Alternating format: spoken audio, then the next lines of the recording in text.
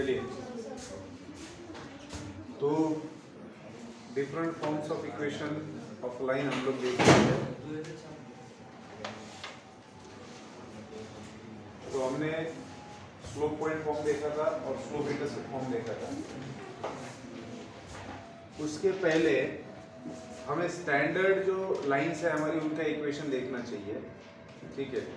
तो standard line मतलब क्या क्या equation of x axis and equation of y axis. फिर equation of line parallel to x axis and equation of line parallel to y axis.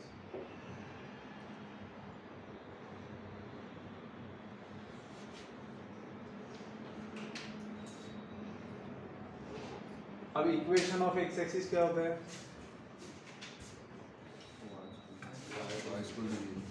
Equation of x axis क्या होता है?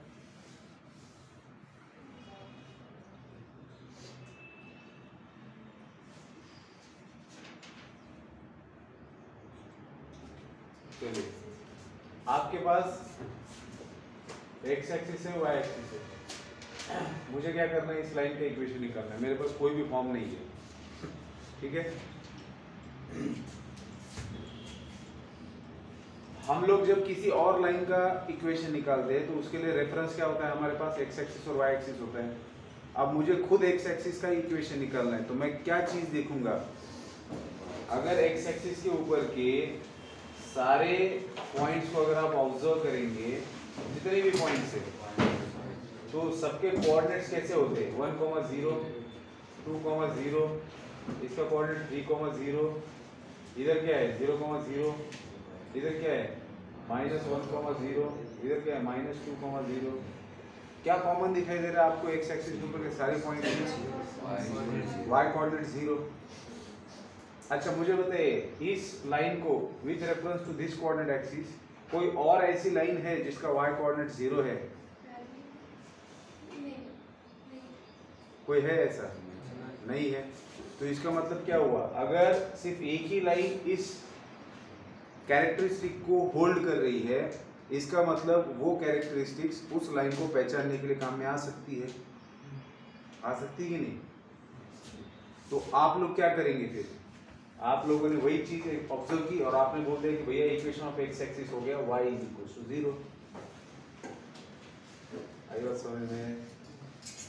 अब इसी तरीके से अगर आपको इक्वेशन ऑफ़ y एक्सिस देखना है तो आपने y एक्सिस के ऊपर के पॉइंट्स के कोऑर्डिनेट्स को ऑब्ज़र्व किया।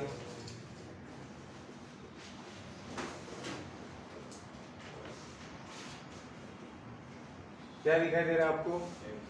एक्स कोऑर्डिनेट ज़ीरो है। और कोई ऐसी दूसरी लाइन नहीं है कि जिसके सारे एक्स कोऑर्डिनेट ज़ीरो हो, जिस लाइन के ऊपर के सारे पॉइंट्स के एक्स कोऑर्डिनेट ज़ीरो हो। सिर्फ़ वाई एक्सिस है। तो आपको पता चल गया है कि भैया ये कैरेक्टरिस्टिक सिर्फ़ वाई एक्सिस को ही लागू होती है। तो आपने वाई एक्सिस का इक्वेशन क्या लिख दिया? X is equal to zero तो हमेशा याद रखेंगे कि इक्वेशन ऑफ़ एक्स एक्सिस क्या होता है? Y is equal to zero और इक्वेशन ऑफ़ वाई एक्सिस क्या होता है? X is equal to zero अब बात करते हैं कि कोई लाइन है जो पैरल है एक्स एक्सिस को। ठीक है? मान लेते मैंने ये लाइन ड्रॉ की जो कि पैरल है एक्स एक्सिस अब इसका कोऑर्डिनेट है ज़ीरो कॉमा टू ठीक है? अब इस लाइन के ऊपर मतलब ये लाइन कौन से पॉइंट में से पास हो रही है? ज़ीरो कॉमा टू में से पास हो रही है। अब अगर मैं दूसरे और पॉइंट्स की बात करूँ इस लाइन के ऊपर के तो मुझे बताइए, क्या ऑब्ज़र्व करेंगे आप? कि इस लाइन के ऊपर मान लीजिए यहाँ पर एक पॉइंट है। तो इस पॉइंट का एक्स एक्सिस से डिस्टेंस कितना है? उतना ही जितना इस पॉइंट का एक्स एक्सिस से डिस्टेंस है। और किसी भी पॉइंट का एक्स एक्सिस से डिस्टेंस मतलब उस पॉइंट का वाई कोऑर्डिनेट होता है। तो इसका मतलब ये हुआ कि इस पॉइंट का वाई कोऑर्डिनेट तो टू है और एक्स कोऑर्डिनेट कुछ और होगा जिसको मैं एक्स वन बोलता हूँ। फिर आपने फिर और इस लाइन के ऊपर एक और पॉइंट ले लिया। अगेन इस पॉइंट का एक्स एक्सिस से डिस्टेंस कांस्टेंट ही है, वही है जितना इनका था इन दोनों का। मतलब इस पॉइंट का भी वाई कोऑर्डिनेट हो गया टू और x कोऑर्डिनेट कुछ और है, क्योंकि अब वाई एक्सिस से डिस्टेंस बदलते जा रहा है ना। तो ऐसा अगर ये जो लाइन है, ये line parallel to x axis है, और इस लाइन के ऊपर आप जितने भी पॉइंट्स लेंगे, उन सभी पॉइंट्स का वाई कोऑर्डिनेट कांस्टेंट है। क्या कोई और ऐसी लाइन है एक्स एक्सिस को पैरेलल कि जिसका वाई कोऑर्डिनेट कांस्टेंट है, लेकिन टू है? नहीं है। कांस्टेंट तो है, लेकिन टू रहेगा क्या? नहीं रहेगा। 1.9 हो सकता है 2.1 हो सकता है, या फिर कुछ और हो सकता है। तो ये लाइन का मुझे अगर इक्वेशन लिखना है तो कौन सी कैरेक्टरिस्टिक मैं यूज़ करूँगा जो ये लाइन होल्ड कर रही है? कि इसका y कोऑर्डिनेट कांस्टेंट है। बात समझ में आ रही है? इस लाइन के ऊपर के जितने भी पॉइंट्स है उसका y कोऑर्डिनेट क्या है? कांस्टेंट है। बेसिकली आप इक्वेशन लाइन के इक्वेशन को लिखते हो मतलब क्या लिखते हो आप? उस लाइन के ऊपर के पॉइंट्स को रिप्रेजेंट करते हो ना इक्वेशन के थ्रू क्योंकि अगर आपने किसी लाइन का इक्वेशन लिख दिया तो उस लाइन के ऊपर के सभी पॉइंट्स के कोऑर्डिनेट्स उस लाइन के इक्वेशन को सेटिस्फाई करने वाले हैं। समझ आ रही बात? तो इस लाइन का इक्वेशन क्या हो गया बेटा? Y is equal to two हो गया क्योंकि y कोऑर्डिनेट टू है फिक्स है। अब मान लो कि एक और लाइन है जो x एक्सिस को पैरेलल है लेकिन 0 का 1 में से पास हो रही है तो इस लाइन का इक्वेशन क्या हो गया? Y इज़ इक्वल टू 1 हो गया। One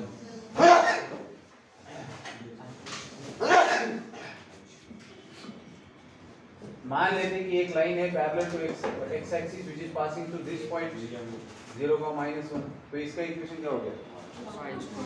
Y is equal to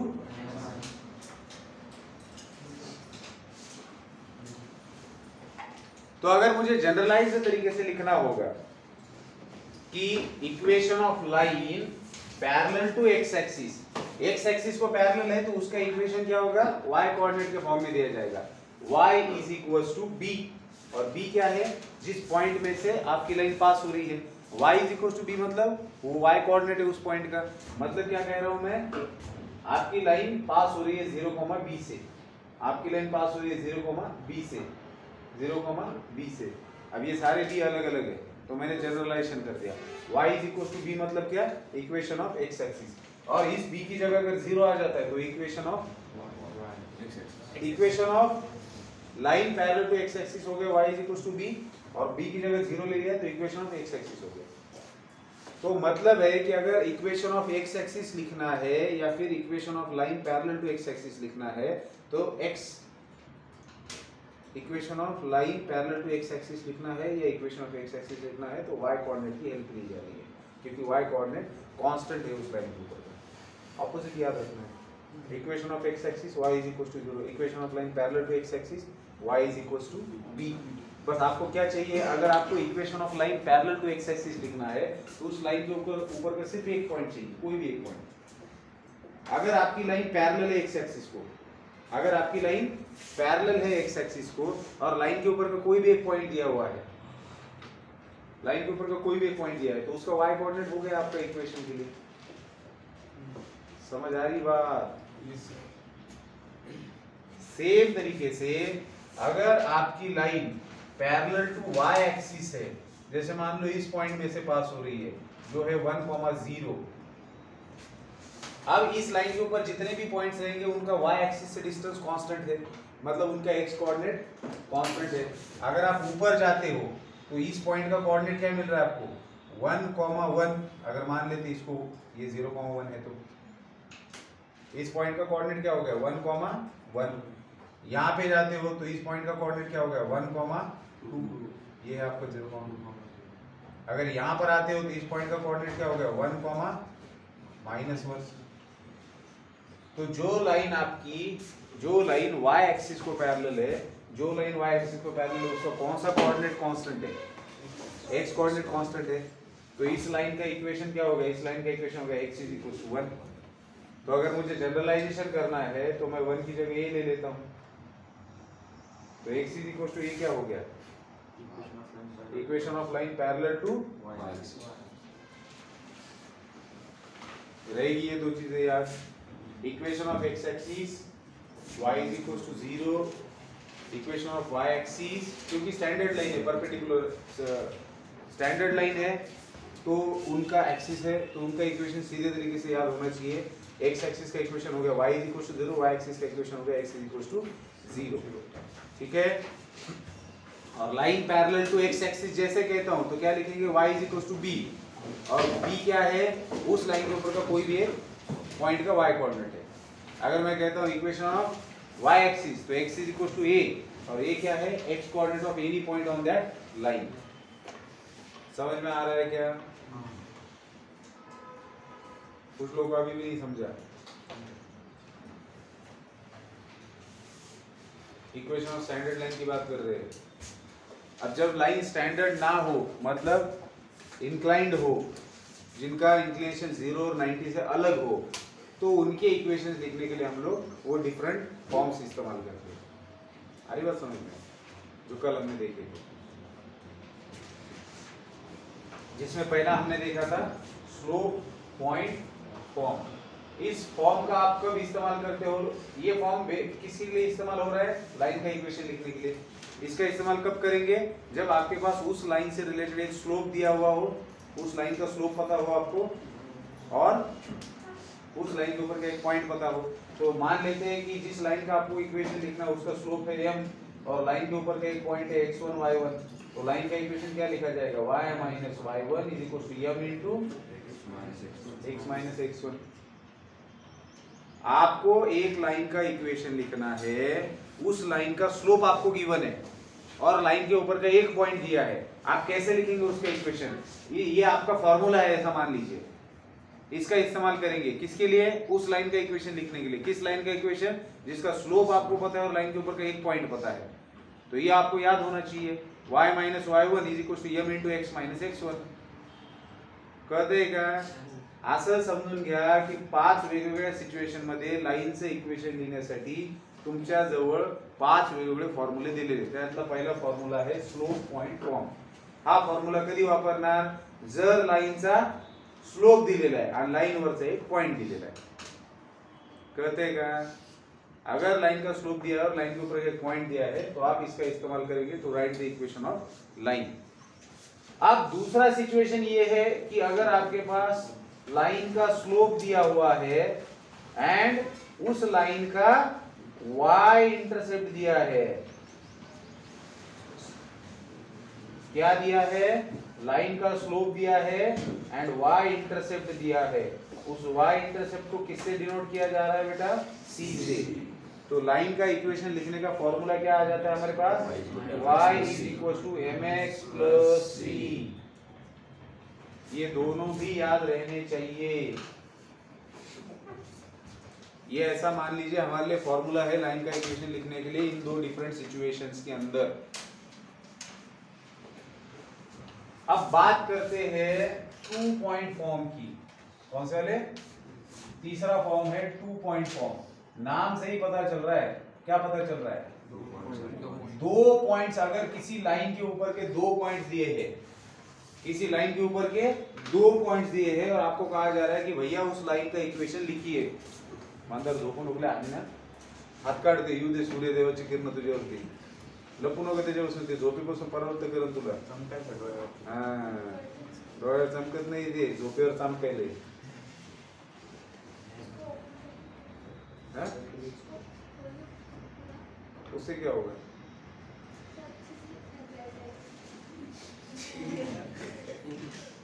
A two point form का बाप खतरनाक झोपे हो याच्या डोळ्यात ए व्यायाम झोपे याच्या डोळ्यात आहे टू पॉइंट फॉर्म का इस्तेमाल कब करना है भैया? जिस लाइन का इक्वेशन लिखने जा रहे हो उस लाइन के अगर दो पॉइंट्स आपको पता है। लाइन के ऊपर के दो पॉइंट्स अगर आपको पता है तो आप टू पॉइंट फॉर्म का फिर आप इसका इस्तेमाल क्यों करेंगे इन दोनों का? समझ आ रही बात। तो मेरे पास एक लाइन है और इस लाइन के ऊपर के दो पॉइंट्स है। जैसे एक पॉइंट है x1 y1 और दूसरे पॉइंट का मैं कोऑर्डिनेट करता हूँ x2 y2 अब इस लाइन का मुझे इक्वेशन लिखना है लाइन लोकस है हमारे लिए अब मैं क्या करूँगा, एक जनरल पॉइंट लूँगा लाइन के ऊपर। तो मैंने एक जनरल पॉइंट ले लिया आर जिसका कोऑर्डिनेट है एक्स y तो r is any point on the locus उस कोऑर्डिनेट इज़ x, y. अब मुझे अगर इस लाइन का इक्वेशन लिखना है तो मैं क्या करूँगा? लाइन के ऊपर की दो सेगमेंट उठाऊँगा जिनका स्लोप इक्वल होगा। अब कौन सी दो सेगमेंट उठानी है? एक तो जो दो गिवन पॉइंट से उनसे बनने वाली सेगमेंट क्योंकि वो आपको एक कांस्टेंट देगा। मला काय करायचं ते मी मराठीत बोलू का नाही ताण हो रहा है तुम्हाला मुझे क्या करना है? मुझे इस लाइन का इक्वेशन लिखना है तो मैंने क्या किया? लाइन के ऊपर का एक कोई भी पॉइंट ले लिया। लाइन के ऊपर का कोई भी पॉइंट लूँगा ना लोकस का इक्वेशन लिखना जनरल पॉइंट जिसका कोऑर्डिनेट एक्स वाई है, और दो पॉइंट्स गिवन है। अब आप मुझे बताइए, अगर मैं स्लोप ऑफ़ पी क्यू बोलता हूँ? स्लोप ऑफ़ पी क्यू बोलता हूँ? तो उसमें आपको नंबर मिलेगा कि वेरिएबल रहेगा उसके अंदर? नंबर मिलेगा क्योंकि ये गिवन है। गिवन का मतलब समझ लो बेटा? Two comma three five comma four ऐसा कुछ ना कुछ दिया हुआ है। तो अगर मैं दो दो पॉइंट्स के कोऑर्डिनेट्स कुछ ना कुछ दिए उनका स्लोप निकालता हूँ तो एक नंबर मिलेगा ना? तो मैंने स्लोप ऑफ़ पी क्यू ले लिया। अब आपको पता है कि एक ही लाइन का पी क्यू भी हिस्सा है पी आर भी हिस्सा है और आर क्यू भी हिस्सा है। तो जितना स्लोप पी क्यू का होगा उतना ही पी आर का होगा उतना ही आर क्यू का होगा। तो अब आपने पी क्यू का स्लोप ले लिया तो या तो आप स्लोप ऑफ़ पी आर ले लीजिए, या फिर आप स्लोप ऑफ़ आधारी बात समझ में क्योंकि आप अगर इसको ले लेते हो तो भी उसके अंदर आपका जनरल पॉइंट आ रहा है, जो लाइन की इक्वेशन में काम आएगा। अगर आप इसको लेते हो तो भी आपका जनरल पॉइंट आने वाला है। ठीक है? तुम्हाला लाईनचे इक्वेशन लिहिताना जनरलाइज्ड वेनं लिहावं लागेल ना कळतंय का मग slope of slope of p r लिहिलं समजा. आता एकाच लाईनच्या हे दोन तुकडे त्याच्यामुळे त्यांचं स्लोप इक्वल राहणार आहे. मग सांगा मला स्लोप ऑफ पी क्यू काय रे? Y two minus y one upon x two minus x one is equal to slope of p r काय रे? Y minus y one upon x minus x one झालं झालं दो point दिए हैं line के ऊपर के, और आपको टू पॉइंट फॉर्म का इस्तेमाल करना है। लाइन का इक्वेशन लिखने के लिए दो पॉइंट से इस्तेमाल करना है। क्या करेंगे? Y minus y one divide by x minus x one is equal to y two minus y one divide by x two minus x one अब इसमें और इसमें कोई फ़र्क है क्या? इसमें और इसमें कोई फ़र्क दिखाई दे रहा है क्या? दिखाई दे रहा है? ये स्लोप ही तो है। ये उस यहाँ पे स्लोप डायरेक्टली दिया था यम यहाँ डायरेक्टली ना देते हुए दो पॉइंट्स दे दिए। तो दो पॉइंट्स दिए तो लाइन का स्लोप कैसे निकालते y two minus y one upon x two minus x one अगर इसी इक्वेशन में मैं एक्स माइनस एक्स वन को लेफ़्ट में ले आता हूँ तो y minus y one upon x minus x one ये वाला साइड मिल जाएगा। और यम क्या है? स्लोप है। मतलब अगर ये किसी की याद में नहीं रहता है फॉर्मूला तो इसको याद में रखिए। आ रही बात समझ में? लेकिन इसमें भी इतना कुछ मुश्किल है क्या? हाँ यश, जो पे तू लगी। लो एंगल लगा दो बाल्टी लगा। हाँ मास्क वाले भैया काफ़ी दिनों के बाद आए हो आज। रेगुलर आया करो। ज्ञान की प्राप्ति के लिए कंसिस्टेंसी ज़रूरी होती है भाई। है ना?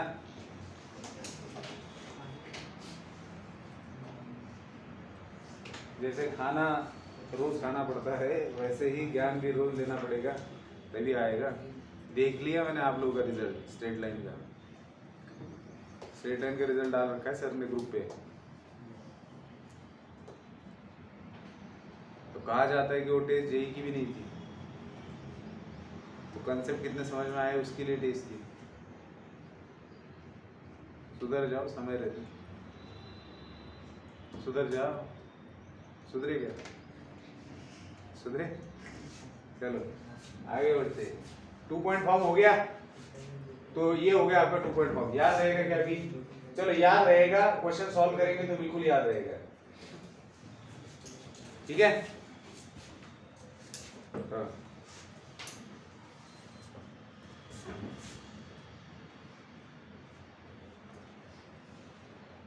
इसका इस्तेमाल बाद में करेंगे।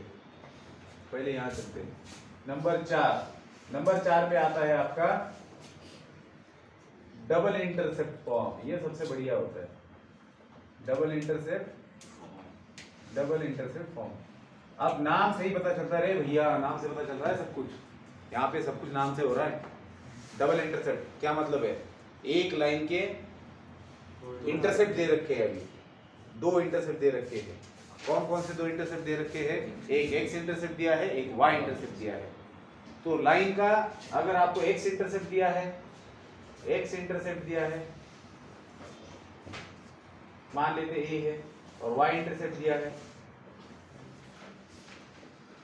बी तो लाइन का इक्वेशन कैसे आएगा? सवाल है लाइन का इक्वेशन कैसे आएगा? इसका मतलब समझ रहे हो? अब आपके पास लाइन के ऊपर के दो पॉइंट्स तो है। यहाँ पे भी दो पॉइंट्स है आपके पास। थे? थे कि नहीं थे? थे ना? लाइन के ऊपर के दो पॉइंट्स यहाँ पे भी थे। तो अगर दो पॉइंट्स लाइन के ऊपर है तो इस तरीके से इक्वेशन लिखा जाता है। लेकिन उनका कहना है, यहाँ पर भी आपको लाइन का एक्स इंटरसेप्ट दिया है मतलब वो लाइन एक्स एक्सिस को कहाँ कट कर रही है? This implies line cuts x axis at a comma zero और y इंटरसेप्ट b है this implies line cuts y axis at at 0 comma b 0 comma b में कट कर रही है। मतलब यहाँ पर भी तो लाइन के ऊपर के दो पॉइंट्स दिए ही है ना। लेकिन इस पॉइंट्स में और इस पॉइंट्स में क्या फ़र्क है? इस पॉइंट्स में आपके पास दोनों दोनों कोऑर्डिनेट्स मौजूद थे। आपकी हो सकता है ये भी लाइन एक्स एक्सिस और वाई एक्सिस को कट कर रही है। लेकिन कहाँ कट कर रही है वो पॉइंट नहीं दे रहे हो आपको। तो अगर आपके पास इसका भी ये स्पेसिफिक सिचुएशन है, इसमें लाइन के ऊपर के कोई भी दो पॉइंट दिए जाएँगे और इसमें लाइन के ऊपर के कौन से दो पॉइंट दिए जा रहे हैं, जो एक्स एक्सिस पे मौजूद है और लाइन पर भी है, जो वाई एक्सिस पे मौजूद है और लाइन पर भी है। मतलब लाइन अगर आपकी कुछ इस प्रकार से है तो इस वाले सिचुएशन में कहीं और के पॉइंट दिए जाएँगे। लेकिन ये जो सिचुएशन है, इसमें आपके पास ये वाला पॉइंट है और ये वाला पॉइंट दिया हुआ है। उस वाले सिचुएशन में कहीं पर भी हो सकता है, यहाँ हो सकता है, यहाँ हो सकता है। तो ये और आसान सिचुएशन हो गया, क्योंकि इसका कोऑर्डिनेट हो गया ए कॉमा ज़ीरो और इसका कोऑर्डिनेट हो गया ज़ीरो कॉमा बी अब आपको तो पता है कि डबल इंटरसेप्ट फॉर्म का इस्तेमाल करके आप इस लाइन का इक्वेशन लिख सकते हो टू पॉइंट दो पॉइंट दे रखे हैं। तो अगर ये वैल्यूज़ उस इक्वेशन में रख देते हो तो देखिए क्या होता है।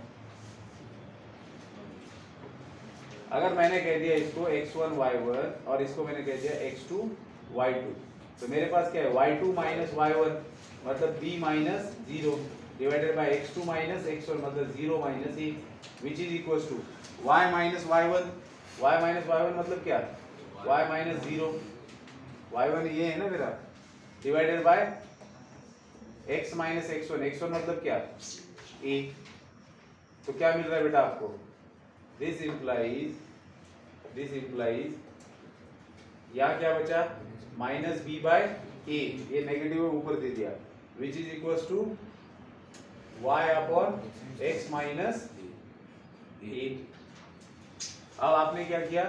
अल्टरनेटो कर दिया। x माइनस ए को इधर लेके गए। Divided by a is equal to y upon minus b b को इधर लेके हे चांगलं दिसत नाही. हे असं दिसत का चांगलं लक्षात ठेवायला? नहीं तो हम थोड़ा रिअरेंजमेंट करके इसको थोड़ा ढंग से लिख रहे हैं. क्या लिख रहे ढंग से? अब डिनोमिनेटर को अगर मैं सेपरेट करता हूँ तो मुझे क्या मिलेगा? x by a minus a by a which is equal to minus y by b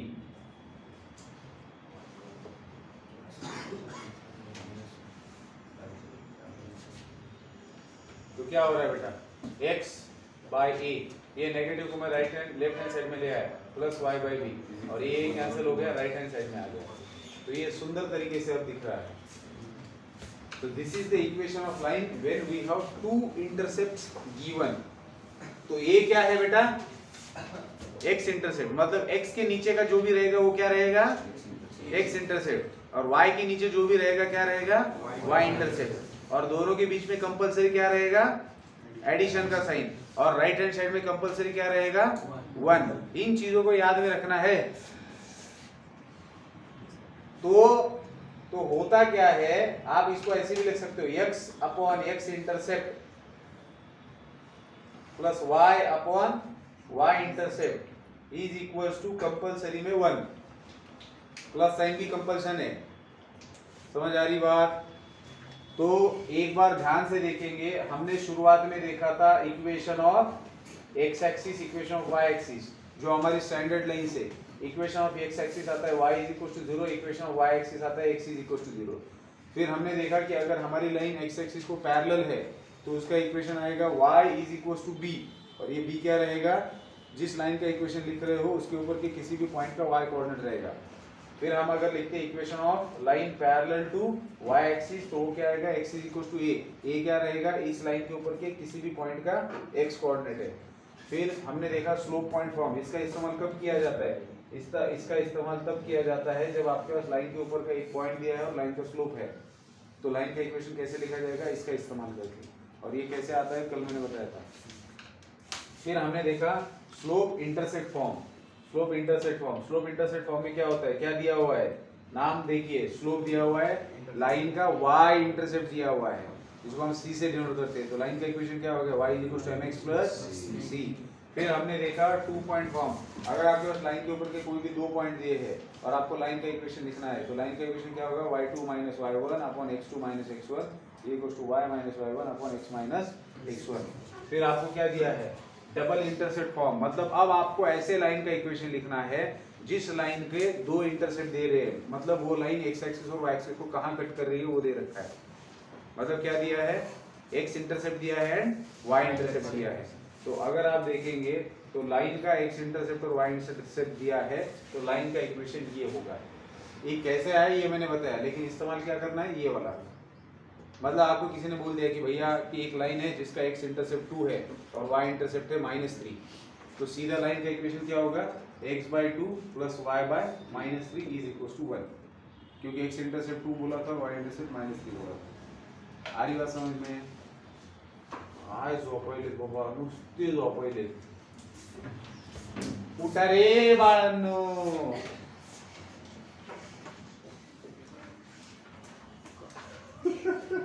अशी एवढी झोप आहे काय रे बाबा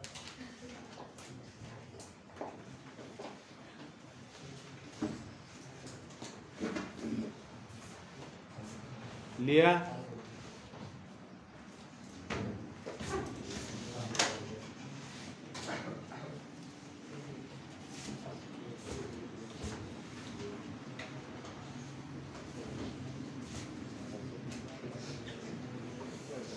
नॉर्मल फॉर्म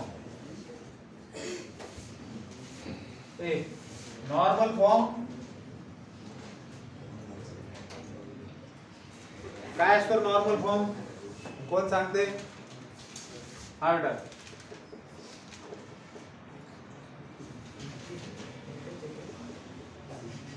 normal form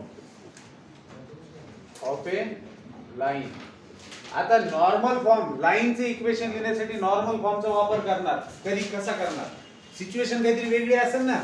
आतापर्यंत आपण लाईनचे इक्वेशन लिहिण्यासाठी चार फॉर्मचा वापर केला. चार फॉर्म कमी होते का म्हणून हा दिलाय. याच्यामध्ये काहीतरी त्या चारपेक्षा वेगळी सिच्युएशन असणार आहे. मग कोण सांगते नॉर्मल फॉर्म काय असतो?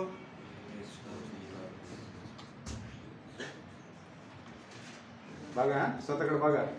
बघा आतमध्ये स्वतःकडे. काल काल सेटलाईनचा पेपर झालेला आहे आणि तुम्हाला नॉर्मल फॉर्म सांगता येत नाही. आता बघा सिच्युएशन बघा.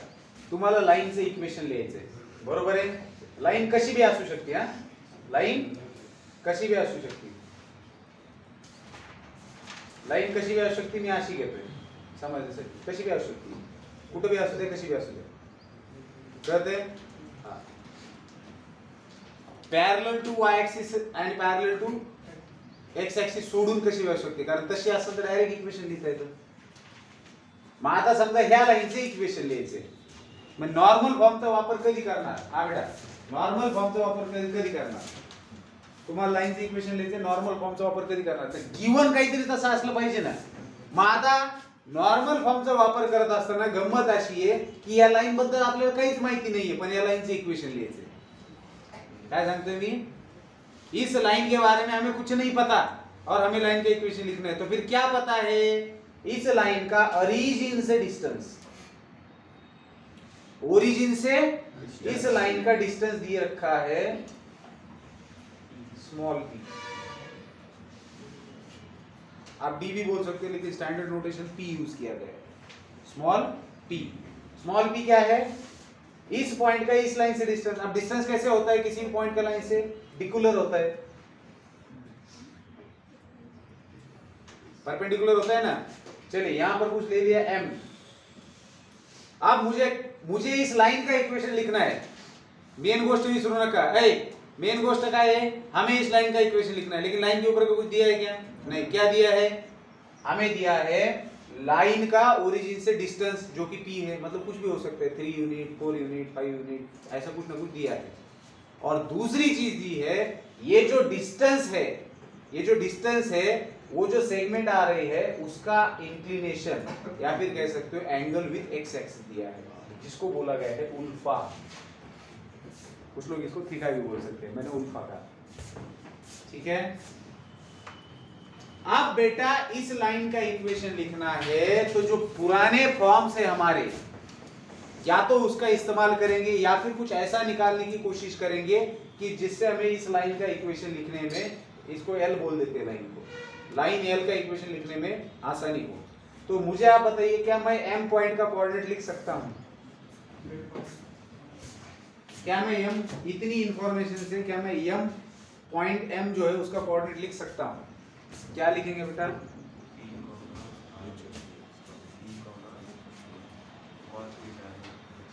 बेटा पोलर कोऑर्डिनेट्स पोलर को याद करो। जितनी इंफॉर्मेशन है मतलब क्या इंफॉर्मेशन है? कि ओरिजिन में से निकला हुआ एक सेगमेंट है, जिसका रोटेशन दे रखा है एंगल तो क्या होता है? R cos theta comma R sine theta polar coordinate तो यहाँ आर क्या है? P तो m का x कोऑर्डिनेट क्या हुआ P cos alpha P sin alpha R cos theta R sin theta m को कोऑर्डिनेट मिल गया भैया। लाइन का इक्वेशन था, निकालना था लाइन के ऊपर का एक कोऑर्डिनेट मिल गया हमको। अब क्या करना है? अब हम करेंगे लाइन के ऊपर कोई भी एक पॉइंट लेंगे। ए लोकस है लाइन लाइन का इक्वेशन लिखना है। Let any point on line B A having coordinate x comma y. झालं काय झालं स्लोप ऑफ़ एम लिख सकते हो क्या? स्लोप ऑफ़ एम क्या आएगा slope of M y minus P sine alpha divided by x minus p cos alpha.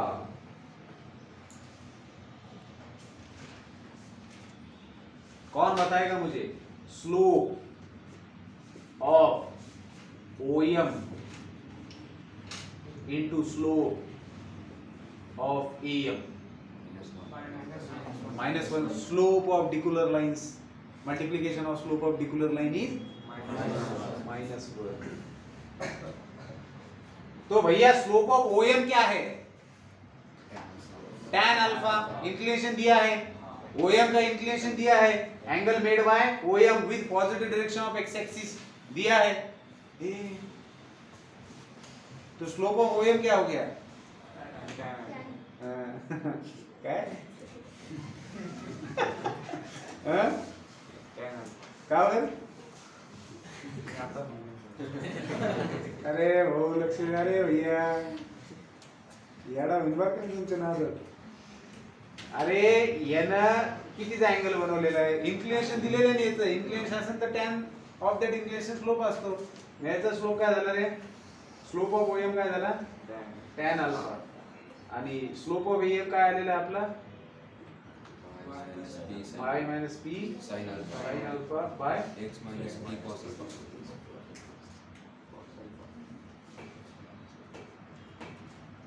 म्हणजेच is equal to minus one तुम्ही काय करू शकता तर याला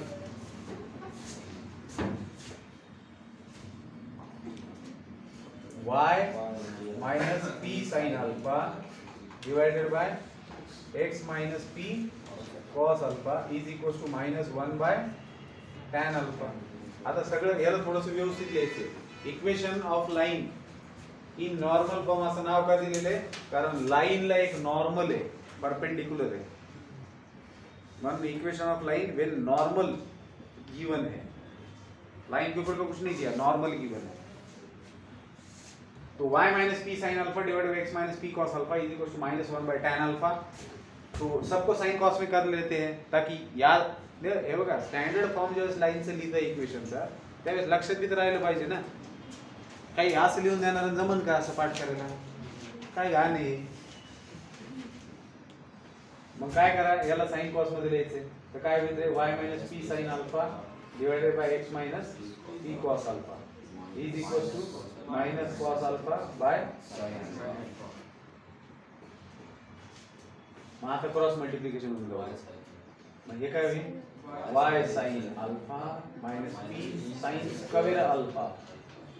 Minus x cos alpha plus p cos square alpha ते जीव तोडले ना गेला जीव आहे. हा ऐ हे निगेटिव्ह ह्याला इकडे आणा x cos alpha plus y sin alpha is equal to hey negative ह्याला इकडे आणा p sin square alpha plus p cos square alpha मग x cos alpha plus sin alpha p common निघालं. ब्रॅकेटमध्ये आलं sine square alpha plus cos square alpha किती येणार? One one हे जरा ढंगाचं झालं बघा. हे हे जरा देखणे आहे. की नाही? मग आता याच्याकडे बघितलं तुम्हाला काय दिसतंय? Equation of line in normal form याच्यामध्ये काय माहिती असायला पाहिजे? उल्फा आणि पी झालं. बघा ना काय दिलेलं होतं सुरुवातीला फक्त? लाईनचं ओरिजिनपासून डिस्टन्स आणि ते जे डिस्टन्स आहे त्यानं बनवलेलं इन्क्लिनेशन बस दोनच तर. एक्स आणि वाय तर तसंच राहील ना? एक्स आणि वाय तसंच राहणार आहे. ओ झाली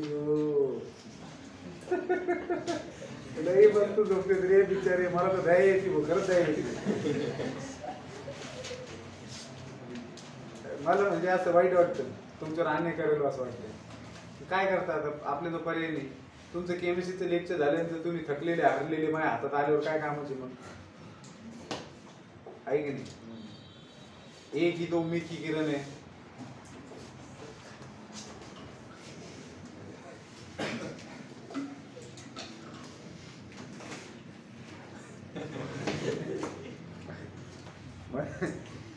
लय जण झोपतेच बरं काय